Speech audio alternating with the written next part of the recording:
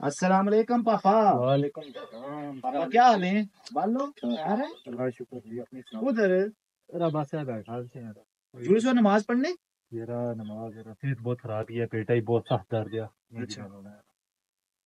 चलो तुसे नहीं मर्ज़ी उठे नमाज़ है मस्जिद में कोल तुसे पता पापे से ना कह रहे उठे अफ्तारी भी है तक कह थोड़ियाँ तक कह थोड़ियाँ तक ओए ओए ओए।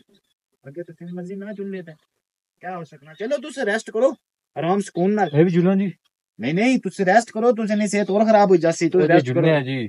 मैं आख्या तुसी रेस्ट ओ करो जी आराम से। बाजमात नमाज़ भी पढ़ समय जुलसा होता है फिर पापा से ने घर जुलने हैं जी अफ्तारी करने।